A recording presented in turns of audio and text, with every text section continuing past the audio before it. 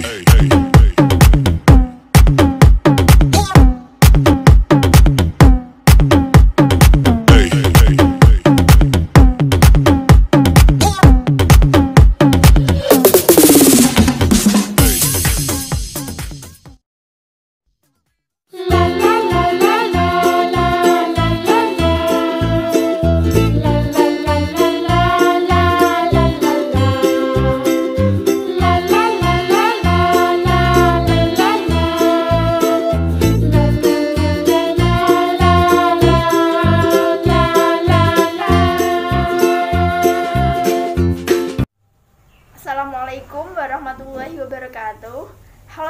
Teman-teman, jumpa lagi dengan aku Dewi Suwaningsih Di video kali ini, aku akan berbagi informasi terkait cara alami menghilangkan bau badan dengan racikan jamu tradisional Kalian pasti penasaran kan? Yuk, simak terus video ini sampai akhir Sebelum kita ke penjelasan, Yuk kita bahas apa itu sistem ekskresi pada manusia. Sistem ekskresi adalah sistem pengeluaran produk limbah metabolisme dan bahan-bahan tidak berguna lainnya dari tubuh suatu organisme. Pengeluaran produk limbah metabolisme dari dalam tubuh ditunjukkan pada berbagai proses, seperti pengeluaran keringat, urin, gas CO2 dan H2O, serta pengeluaran urea dan cairan empedu. Proses tersebut berfungsi untuk mengeluarkan zat-zat sisa dalam tubuh agar tidak meracuni organ lainnya dan menyebabkan kematian. Sistem ekskresi melibatkan organ-organ tubuh, salah satunya adalah kulit. Peran kulit dalam sistem ekskresi yaitu kulit mengeluarkan keringat sebagai salah satu cara untuk mengeluarkan sisa metabolisme tubuh. Keringat sendiri diproduksi oleh kelenjar keringat dan berfungsi untuk mendinginkan tubuh saat kita kepanasan. Di dalamnya bukan saja ada air, tetapi juga ada minyak, gula, dan garam, serta limbah hasil metabolisme seperti amonia dan urea yang diproduksi oleh hati dan ginjal ketika tubuh memecah protein. Ada dua jenis kelenjar keringat di tubuh, yaitu kelenjar ekrin dan kelenjar apokrin. Kelenjar ekrin menghasilkan keringat yang tidak mengandung protein dan lemak dan banyak ditemukan di tangan, kaki, dan kening. Sedangkan kelenjar apokrin menghasilkan keringat yang mengandung protein dan lemak. Biasanya kelenjar ini bisa kita temui di ketiak. Lalu, bagaimana kulit bisa mengeluarkan keringat?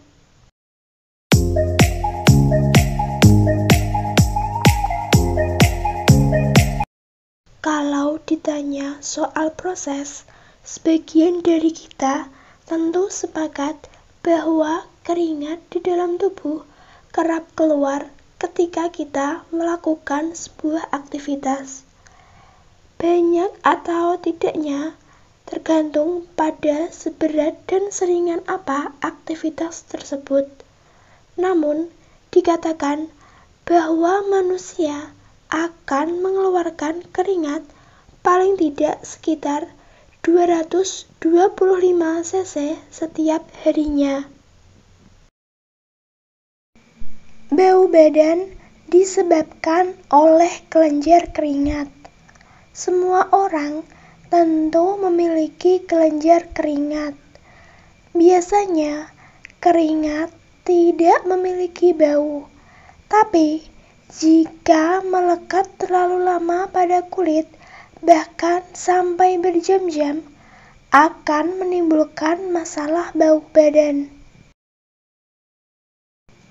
Selama keringat menempel pada tubuh, bakteri-bakteri yang secara alamiah ada di kulit akan berkembang biak dengan cepat sehingga bau badan menjadi tidak sedap.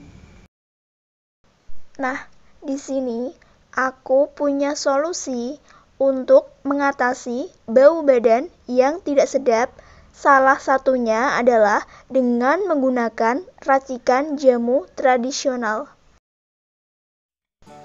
Untuk alat dan bahan yang dibutuhkan dalam membuat racikan jamu tradisional penghilang bau badan yaitu ada yang pertama temulawak kira-kira satu jempol jari yang sudah dikupas dan dicuci bersih. Terus yang kedua ada gula merah secukupnya.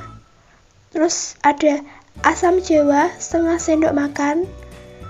Terus ada air secukupnya. Terus ada pisau. Terus ada talenan. Dan yang terakhir ada saringan. Untuk cara pembuatannya, pertama-tama kita potong-potong kecil dulu temulawak atau kalian juga bisa menghaluskannya dengan cara di blender atau diparut.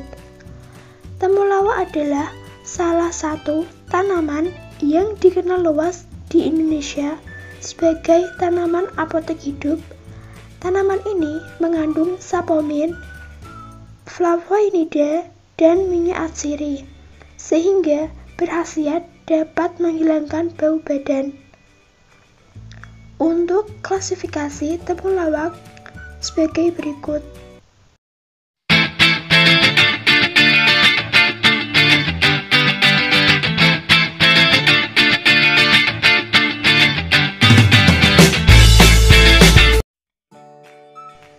Yang kedua, potong-potong gula merah agar nantinya bisa cepat larut.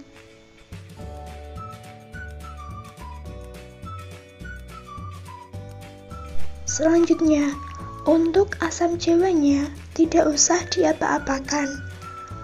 Dalam rasa asam yang khas dari asam jawa terkandung tartarik acid yang punya banyak manfaat Salah satunya untuk menghasilkan bau badan.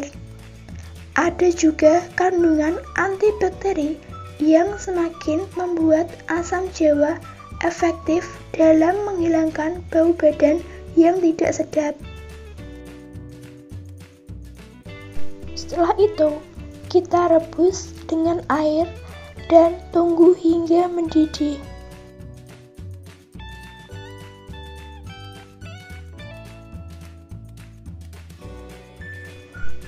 Jika sudah mendidih, lalu saring dan masukkan ke dalam wadah.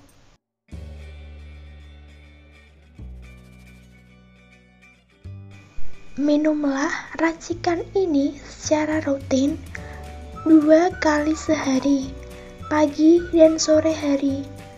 Rutinkan hingga bau badan benar-benar lenyap dari tubuh kalian. Selanjutnya, untuk pencegahan, minumnya minimal satu minggu sekali. Itu tadi yang dapat saya sampaikan. Kurang lebihnya, saya mohon maaf dan semoga bermanfaat. Wassalamualaikum warahmatullahi wabarakatuh.